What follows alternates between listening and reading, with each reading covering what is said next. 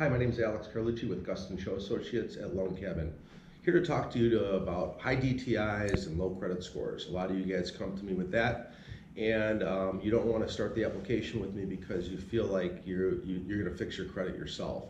I don't want you to do that. I like to run your application for you, and I'll coach you through how to get your DTIs down and how to fix your credit score with the most optimal way of doing that. So what we have is a tool, it's called Rapid Rescore that's supplied to us by the Uh, credit bureaus.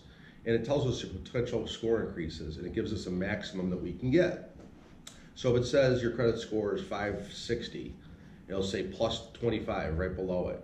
So I know that I can get you to 585 with that credit score. So I can run your stuff through a software and it tells me exactly what you pay down to get to that score. If you follow my instructions exactly, I take a letter from your debtor that you paid it down to a certain balance, and I send it to the bureaus in three to five business days. You have a new score with a new balance, a new payment, and a new score, versus you paying that debt down on your own, and we have to wait 30 to 60 days for the bureaus to naturally update that score.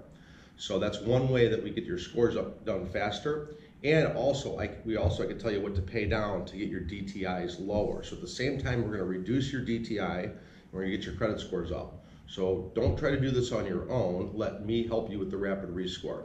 So if you got high DTIs and low credit scores and you've been denied and you talk to me, let us help you. Uh, if you like this videos, please like below. If you got any questions, leave the questions below and I'll answer the questions for you. Thank you very much.